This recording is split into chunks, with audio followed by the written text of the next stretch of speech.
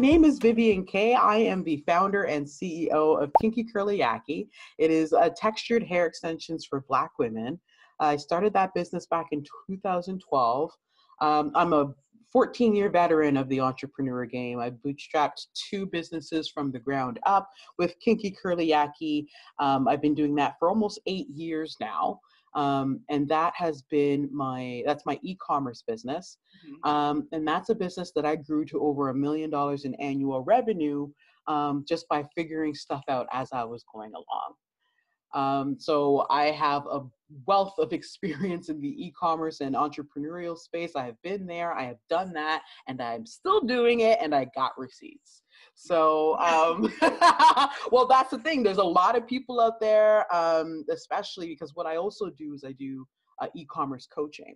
Mm-hmm and there's a lot a lot of people are being seduced by what i call and especially now during this time period i call them quarantine coaches mm. where it's these people who've just popped up um, who are you know taking advantage of people with stimulus checks people who want to who've been laid off and want to run their own business but they themselves have never run a business. So they're in the business of selling you how to build the business they've never run. Right. Right? And so then you know i strongly encourage people that if you're going to hire a coach there's nothing that they're that these people who are showing that are that they're charging you fifteen hundred dollars or whatever uh, for there's nothing that you can't google everything is available on google however what i provide is guidance mm-hmm. so i provide guidance i provide feedback i provide a sounding board because i have been through a lot including now a pandemic I mean, who would have thunk it? right? But I've been through a lot. I've seen a lot. I've done a lot so what i so what i do is i can coach you you know i can teach you the step by step for seo or how to get more sales or all that stuff. But what i'm trying to give you is the tools and the confidence for you to be able to make your own decisions confidently because that's really what it is. When you're an entrepreneur it's like am i making the right decision? I have no clue. Right. you can't go to your parents and ask especially if they haven't been entrepreneurs or your friends. Like, they're gonna, go back, go get a job, right? So you need someone who's been there, who's done that, and has got receipts that understands the situation you're, that you're in and can guide you to making those proper decisions. I I'm so glad you said that because I you know I've seen those coaches and things like that, and obviously you want to pay someone for their work, but you know do your homework. Yeah. do diligence. Like just the other day, someone was telling me someone got ripped off for five hundred dollars by Fluff mm-hmm. someone who taught them fluff. And it's like, girl, you could have Googled that. Yeah. Yes. And people are taking advantage of the fact that people aren't willing to Google. I get that. If that's what you want, uh, that's fine. But if you're really serious about building a sustainable business mm-hmm. and and creating generational wealth and all that, do not be seduced by the marketers because that's what they are. They're just fancy marketers. Right? You want to follow, you want to learn from someone who has done what you want to do. Not just make a million dollars, because if your goal is to make a million dollars, then you're like, good luck with that. And even then, when you get it, it's not going. You're not going to keep it for long because you're just after the money. But if you have, if you're trying to serve a purpose, if you're trying to solve problems, if you're trying to really make a difference in this world, then you want to go and follow or be mentored or you know um, be coached by someone who has done what they want to do. So for me, I do e commerce. So I have answered emails, I have shipped packages, I mm. have uh, you know, I've had irate customers. I have cash flow issues. I've been market. I've done all of that. So I understand where you're coming from. But if the person you've hired has never done that, or if their business is the coaching, yeah. Girl, they don't know what they're talking about. So, anyways, that's my little. are, you passionate about this? What? because you know what? I am i am the opposite of what everyone expects success to look like right? I am an immigrant.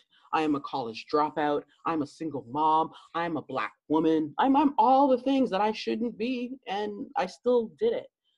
Was it easy? No. Is it possible? Yes but it's not it's not there's no step by step there's no blueprint to it if there was everyone would do it exactly Yeah, I, I feel like that's that's one of the things, you know, the whole idea of being opposite of what success looks like. That's like part of the one that's one of the things I want to change in this mm-hmm. world. Mm-hmm. You know? Like that's why I have you here because you are what success looks like. And it's time for us to start changing what our mental models are telling us who gets to be successful and who gets to, you know, sit on the sidelines. Mm-hmm. Mm-hmm. Absolutely. Yeah. Yeah. So we're, we're gonna own it. We're gonna own it. We're taking it over. it over. It looks much better. that's much better. I mean, I know you've shared your story you know, multiple times across a lot of different platforms, and I mean, what really struck me is just your resilience, your ability to you know make things happen, and the fact that you are just so willing to kind of give and really inspire people to to really live up to their best potential. I mean, where do you think that came from? Honestly, I have no idea. Um, you know, I, I'm to be honest, I haven't really. It's not like I grew up in a, a household where my parents were like, "Yes, you can do it." Rah, rah, rah. Mm-hmm. Um, it was more like, "Do you think you can do that?" and so then um, you know i've always been my mom was my mom always describes me as you know when she says a i would say g so if if you want me to do something tell me i can't do it and so um, and i don't think it was done purposely it was just mm-hmm. you know there was there's no uh, precedent there was no precedent in my family of people doing big and great things mm-hmm. and you know just watching people around me i'm like well they're kind of mediocre, but they're doing great things and people are congratulating them for it. Yes. So imagine if I did some stuff. Oh.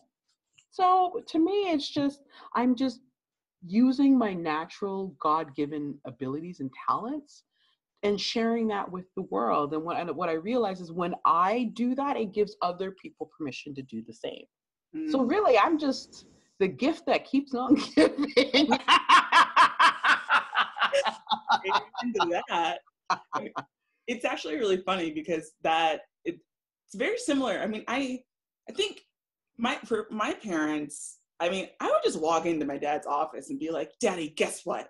I'm gonna do this," and just be like, "Okay, Ashley," oh.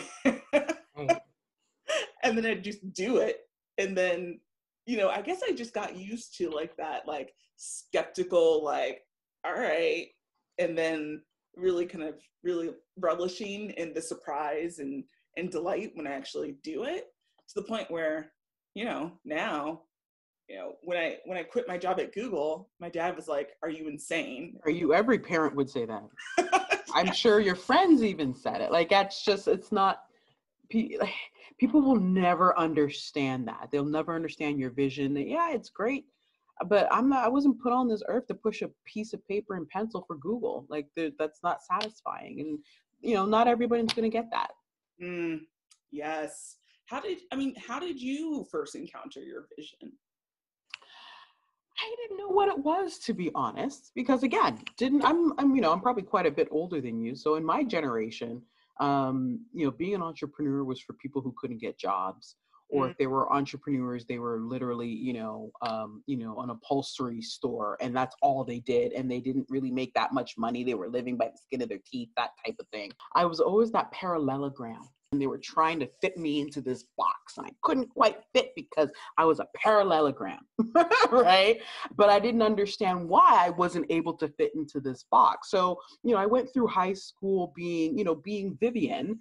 Um, I even won an award called the Change Your Future Award. And I'm really sure that it's really an award for people, they didn't know quite what I was going to do.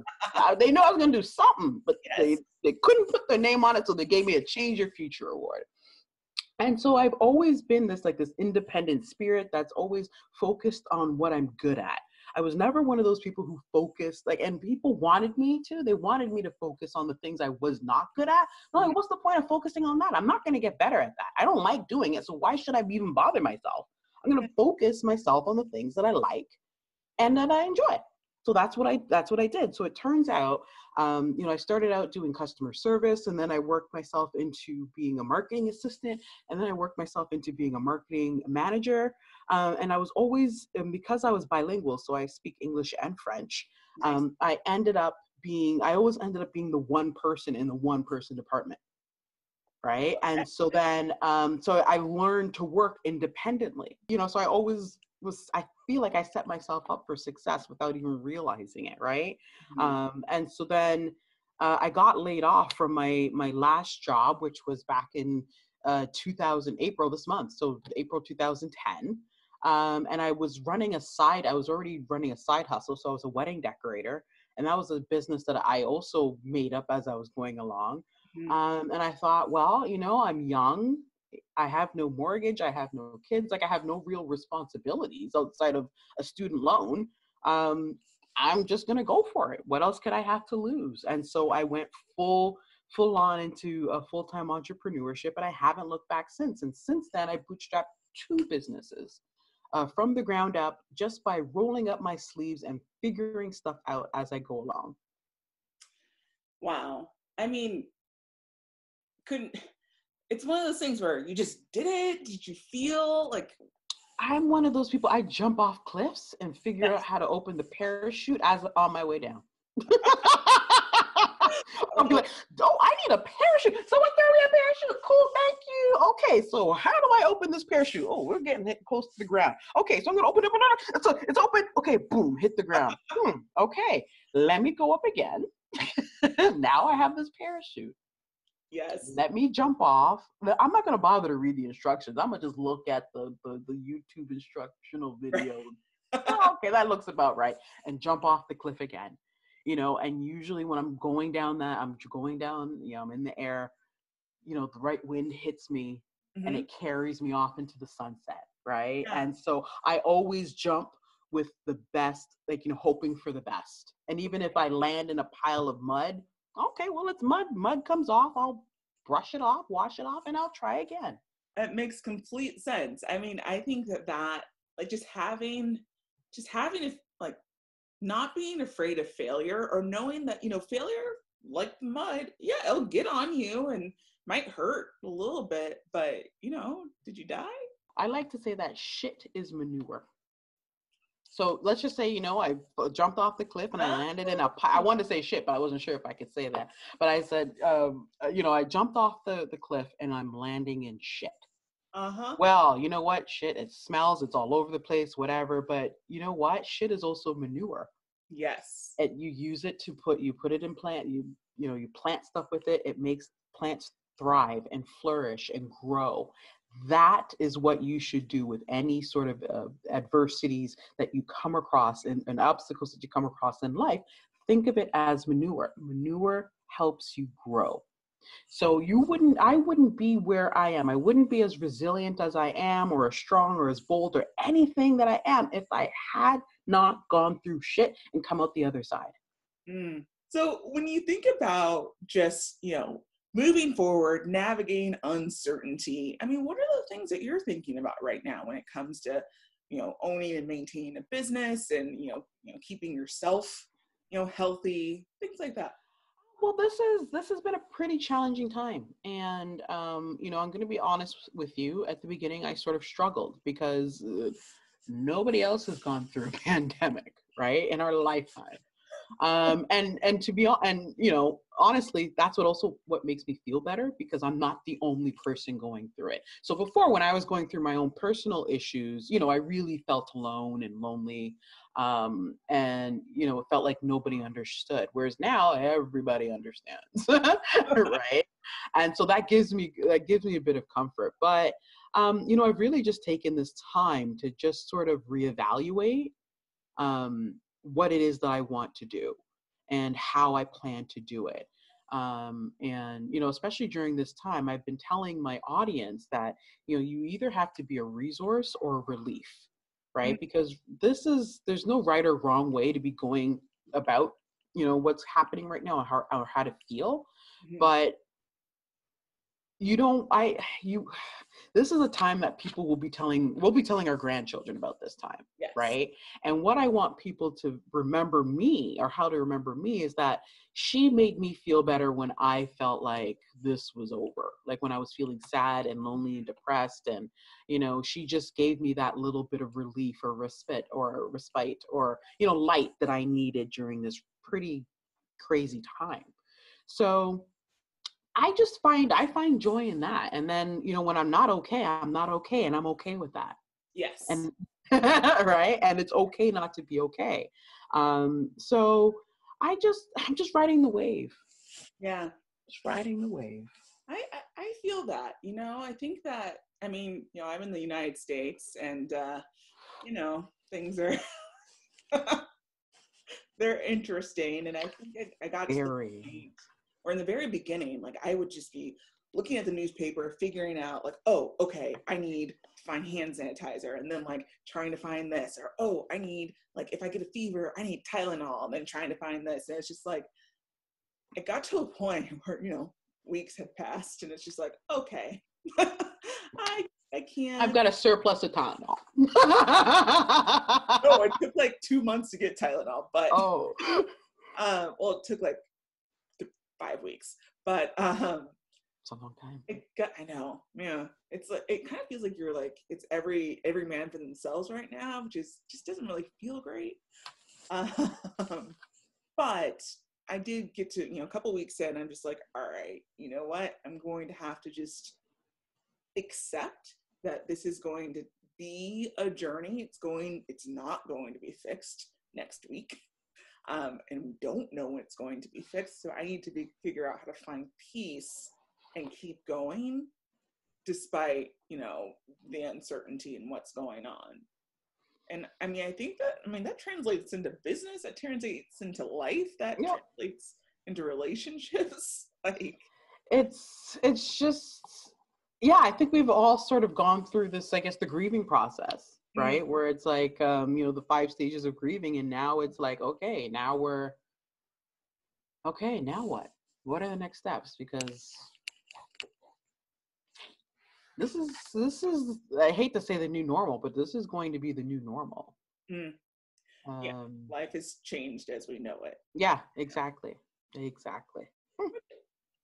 You know they did 1917 or i think I'm like, yeah, you know, back before they had anything. Yeah. yeah. And look at us now in 2020. I, I mean, know. Eventually, you know, life will look amazing. Um, so I hope so. I miss people. I. I was actually I just called my friend and I was like, you know what? I just miss just going to your house. You know? Mm-hmm.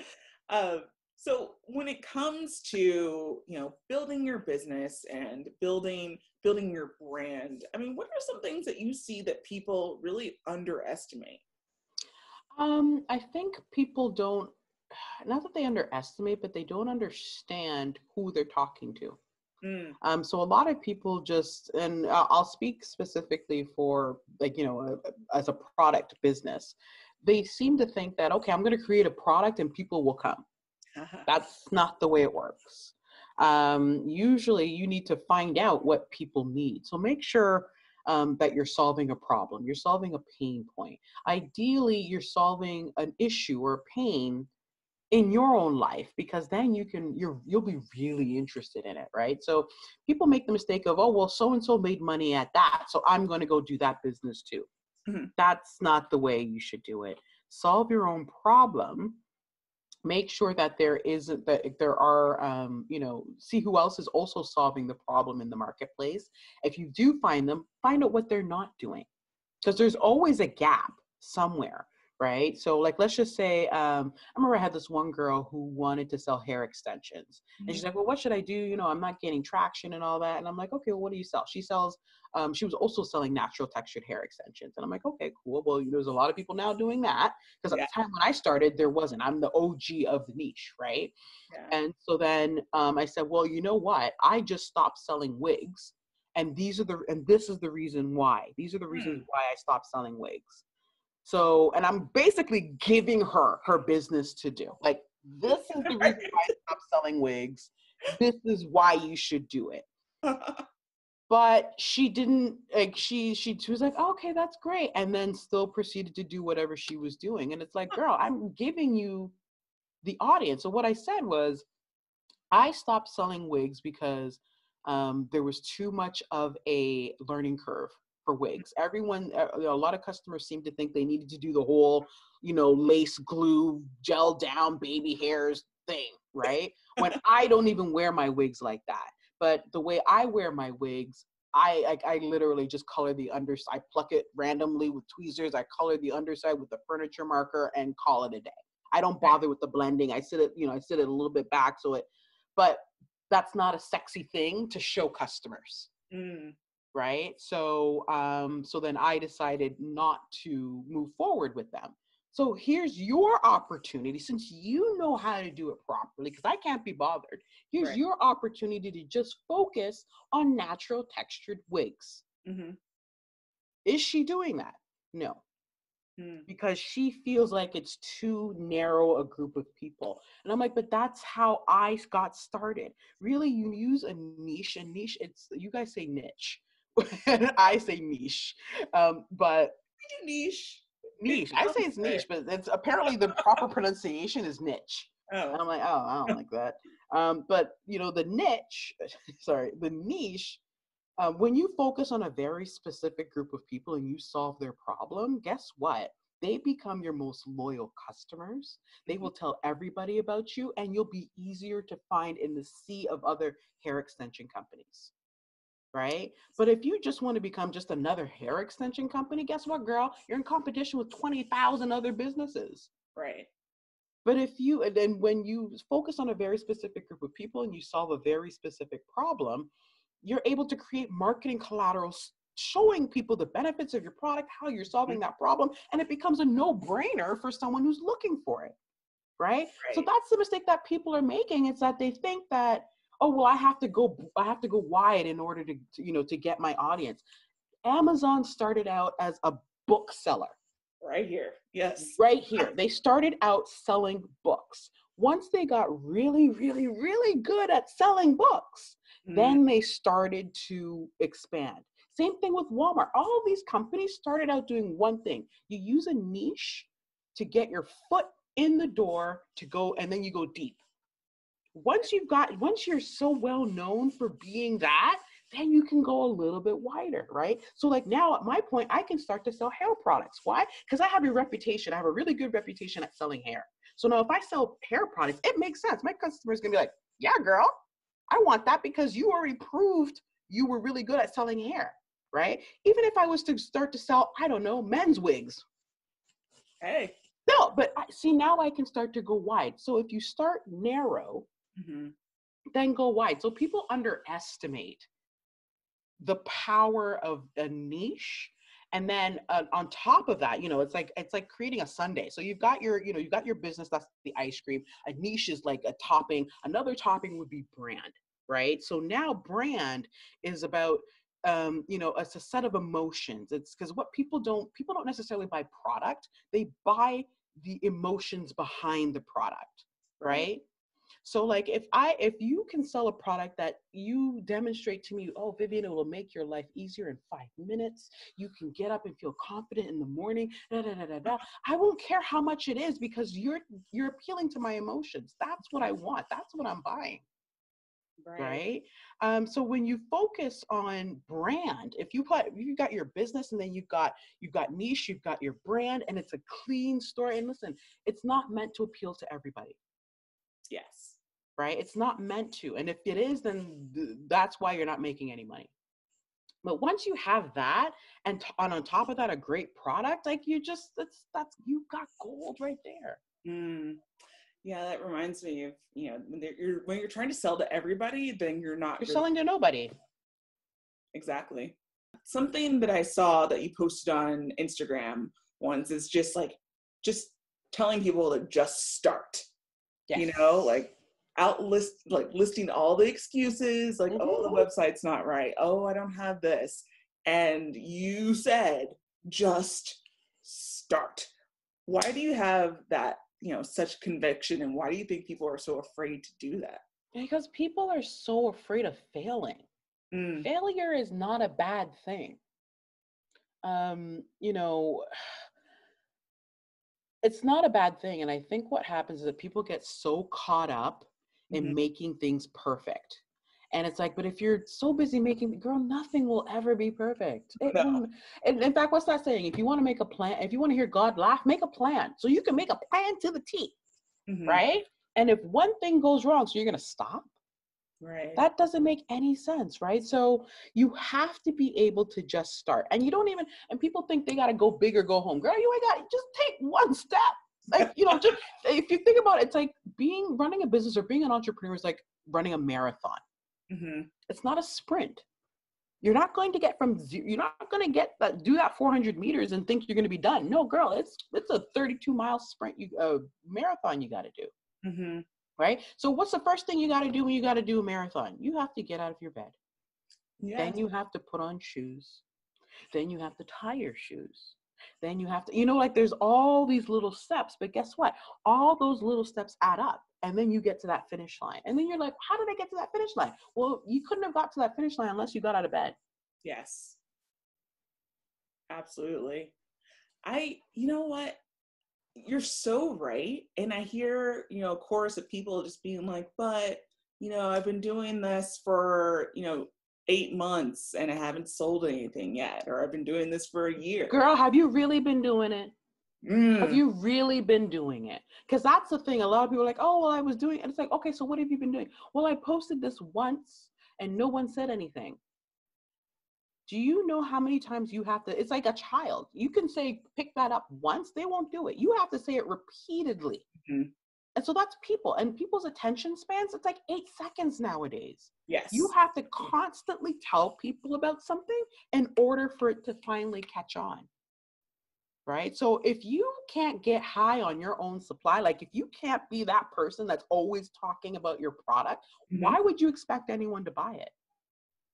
Yes. Right and even then you have to give your business or anything like no okay not anything because not I wouldn't say a relationship but you know give it at least 12 to 18 months and make sure you really are trying everything. Don't be doing it ah, like and that's the thing people say oh well how do you stay motivated? How do you stay motivated motivation is fleeting. Motivation is dependent on your feelings and how you feel and your emotions that day. Girl there are days like this morning i didn't want to sit here and do this call no. Didn't want to do it because I don't feel like it. Mm-hmm. But I want to be consistent. I said, I promised that I would do this, so I'm going to do it. And if I'm going to do it, I'm going to show up properly. I'll fall apart after I'm done. right? But it's it's discipline, it's consistency. That is what a lot of people are lacking in the entrepreneurial space because they saw some sexy Instagram story where the girl's stunting with her Gucci and Louis Vuittons and Lamborghini and her boyfriend, and she made $60,000 in a day. How come you can't do it? Girl, you don't know her backstory. You don't know how many steps she had to take to get there. Mm-hmm right? So you in but in order to get to that gucci purse you gotta start with the walmart purse. You gotta start somewhere right? And the goodwill purse like, the goodwill purse the mama's purse whatever you just you have to you gotta start somewhere. She didn't just pick up a gucci one day and be done and if she did then she's not telling you the whole story. Exactly. Exactly. Right? that lamborghini could be rented. Rented. the shoes could be. She could have just painted the red on the bottom of the shoes. The Gucci could have just. She just probably teeth the logo, slapped it on with a glue. You don't know. You don't know. You can't compare your journey to anyone else's journey. Your story is meant for you. How you get it done is how you will get it done. Hmm. If you want to follow in someone's footsteps, you are doing yourself a huge disservice because now you're not having you don't have your own journey you don't have your you're not building your own set of resistance and uh, resilience and your own strength and your own je yeah that strength and you know that je ne sais quoi that yeah. people just oh yeah that that, that resonates with me mm-hmm. but if mm-hmm. you're just following what she's doing girl you're not you know that's not special nobody wants to hear that story no no, no. And once you're doing it, like do it. One of the things you told me in the little focus group is like wear your product and get high on your own supply. yes. So like I'm taking that advice. Mm-hmm. Well, you have to because nobody's like you are your own best customer. Mm-hmm. Right. And if you expect people to, you know, to buy and to, you know, be loyal, you have to be loyal to yourself. Yes, absolutely. I really appreciate that because I it's one of those things where I feel like there's you know people hear all the time and they're like yeah yeah yeah I know but then they don't do it. So it's just like okay but there's still a disconnect between what you know and what you do. So what are you going to do to address that? It's just uh, really uh, honestly it's not like i woke up positive. I've been through some strife. I've been through depression. I've been through broke times and hard times and rich times i've been through it all. Mm. but the difference is every single time i've been put down i got back up. Sometimes i got back up slowly. Sometimes i got back up injured. Sometimes i just lay there an extra couple of days or years or whatever it was right? But the point is is i still got back up. I would hate to live this life knowing that I didn't live it my best, if I didn't give it my all, if I didn't try. And if I fail, okay, well I failed. So what? Who who who gonna check me, boo? Yeah, still here. Still here. You gonna you gonna what? You gonna come laugh at me at my failures? What have you done? At least I tried. Mm-hmm. Right? So hmm, better late than never. I love it. I, am full of cliches today. hey, but you picked the best one. Yes. no, I really appreciate it. I mean, you've given us so much to really think about and really connect with our, what we know and what we do. You know, mm-hmm. those things. I love it. I love it. Shit becomes manure. Shit is manure. it's manure. It's manure. All this shit, man. You know how much stronger you're we're gonna come out?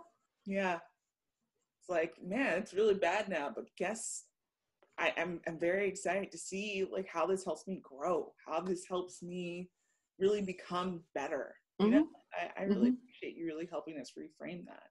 No, well, you're absolutely welcome. I didn't know it'd be a pandemic, but yeah. a whole bunch of it. Just yeah. a bunch of manure. Just a whole bunch of manure. like a cow exploded. yeah, yeah, a little bit feels like that, but you mm-hmm. know, we'll we'll work with it. You know, is there anything that we missed in this conversation? Anything that you you would love to have, you know, talked about or would love to kind of tell people who are, you know, primarily my audience is within the 18 to 34 um, kind of age bracket and i mean they're very ambitious people mm-hmm. um, and i think that they're you know they're just trying to figure things out so it's pretty cool well I, I want to say it's just it's okay to figure stuff out it's okay to still be figuring it out girl if at 18 if you know exactly what you want to do good for you but yeah. you're allowed to change your mind i am 42 and i still every other day i'm like do i really want to be doing this Mm-hmm. right? So that's okay. That's a part of life. That's just human nature. So don't be afraid of that. Um, and also to take take ch- take smart risks. Now I'm not saying you know go be with that dude that you know is no good. Don't do that. No. But if it's something that um, doesn't affect anyone else and is you know um, would do you know if it turns out good then it's good And if it turns out bad it's not terrible it's just oh okay then do it mm-hmm. just do it there's like just do it and it doesn't have to be perfect you just need to start and by starting i like i said you just need to put on get off the couch get out of bed put on your shoes tie your shoelaces put your pants on put your bra on put a ponytail on whatever you got to do you just got to start yeah. Yes. Right. And don't don't be afraid to start small. There's no shame in that. There's no sh- like how I started my business was with one bundle of hair. Mm. I started with one bundle of hair. Someone would buy some, and I would take that money and I would buy two. Wow. and then that's how I slowly built my business. I built I went from my I went from a Rubbermaid bin in my apartment, the corner of my apartment, to bookshelves in my apartment, then moved it to my parents' basement, then moved it, then bought a house, moved it to my basement, and then moved into a thousand square foot warehouse. All of that over the space of seven years. Right? So um have I made mistakes along the way? Hell yeah.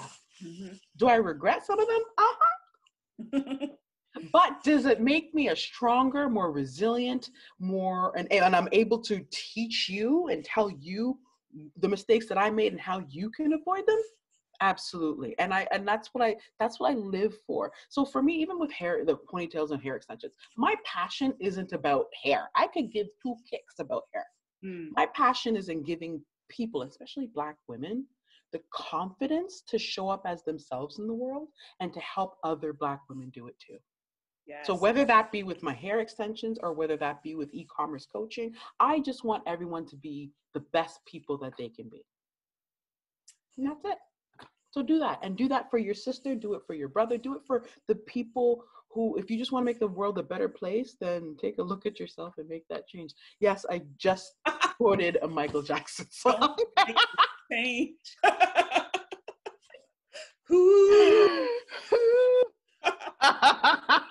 but yeah, no, just girl, do it. Just and don't worry if you're 18. Don't worry about boys; they'll be there. Trust me.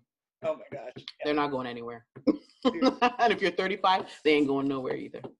No, I, was thinking about that. I was like, yeah, when I was 18, I wanted to be editor in chief of 17 magazine. That was oh. my thing. And it's like, you know, I've had like five different careers since then. So. That's fine, and that's you know what, and that's okay because now at least you know if if you if you were to be on your bed, you know if you were to have to go tomorrow, you can at least say, I lived the good life. Great life, and that's all that matters.